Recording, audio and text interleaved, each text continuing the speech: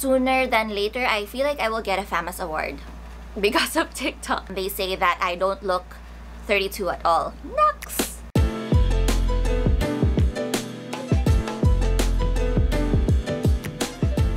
Hi preview, I'm Camille Co and as you all know, I've also joined the TikTok bandwagon. I would have never expected myself to be on the platform, but quarantine and boredom made me do it and there's no turning back. I now love the app. I feel like TikTok has shown another side of me, my comedic chops and I feel like medyo nadidiscover na nila yung acting prowess ko. Sooner than later, I feel like I will get a famous award because of TikTok. Surprisingly, a lot of people compliment my skin on TikTok and I, I do a lot of close-ups there. So I am so flattered that I keep getting those types of comments and they say that I don't look 32 at all. So yeah, I've really, really been loving TikTok. It's a very happy online platform. And if you guys want to learn more about TikTok and you also want to improve your TikTok skills, then make sure to stay because I am about to share with you guys my favorite tips and tricks and also my creative process when it comes to creating my TikTok videos. So tip number one is to brainstorm. I am not always creative. I'm not always inspired. So it really helps when I scroll through TikTok and I check what are the latest trends right now, what are the Gen Z really into. I also like to save videos or sounds that I feel like I could also do for my audience. And then if there are some tricky transitions, I make sure to look at some tutorials. And next thing I do is already prepare, prepare for my look. Speaking of which, we go to tip number two, which is to prep your look. So I prep the outfits that I'm gonna wear. I usually try to match it with the sound. Fashion always goes hand in hand with beauty and skincare and makeup. And a lot of people actually notice it on my TikTok. Like they always say, oh my god, your skin looks glowing. What highlight do you use? You really have to be consistent with your skincare routine. That's the secret. It's not the makeup. It's not the best foundation. It's really having a good base to start with. So you need to be using products that complement your skin type and also answer all your skincare needs. My personal regimen, I'm currently using a lot of Kiehl's products. I love Kiehl's because its products are super duper gentle and also they're perfect for a lot of different skin types. And so I want to show you guys a rundown of some of the Kiehl's products that I use. First off, I make sure to wash my face with the Calendula Deep Cleansing Foaming Face Wash. So it's suitable for normal to oily skin types and I really feel that it's so gentle to my skin. It's able to take away all the impurities but still I don't feel like my skin gets dry. With this face wash, it feels super duper gentle yet clean. And then I use the Calendula Herbal Extract Toner.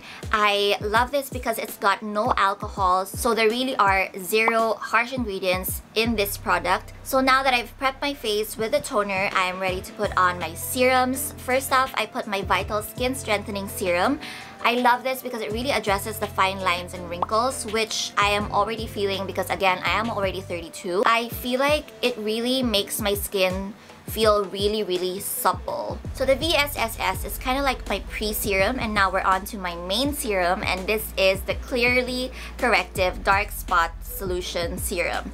I've been using this serum for a really long time because my sister actually introduced it to me. It corrects your dark spots and evens out your skin tone and I don't have a perfect skin tone. I do get occasional breakouts and I also have freckles and dark spots so I feel like this really targets those areas of concern. And then I move on to my daily reviving concentrate and I feel like this is really truly my weapon especially when my skin rather is super tired. I feel like this really saves my skin and makes me look like I'm glowing even if I only had a few hours of sleep.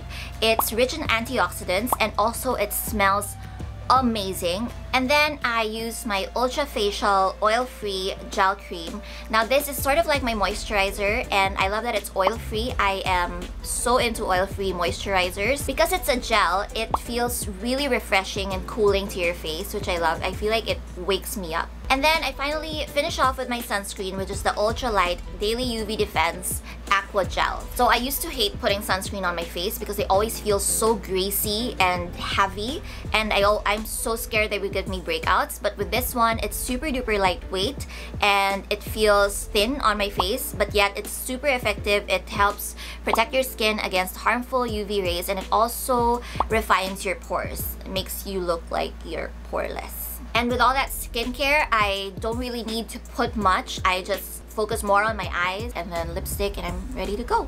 And I focus more on my clothes next. Then tip number three, make sure you have a good light source. So for this day, I didn't have a good um, source of daylight because it was so gloomy. So out comes my ring light and also my studio lights or my softbox. So these lights are my holy grail when it comes to shooting any sort of video content. Tip number four, edit like a pro. For this particular one, I filmed it on my native video app on my phone and then I just used InShot. So if I don't film my footage on TikTok, which is always the case. But if I don't, for the few times that I don't, I use TikTok to just copy the clips and to sync the music and make sure that everything's all set up by the time that I upload on TikTok. Oh.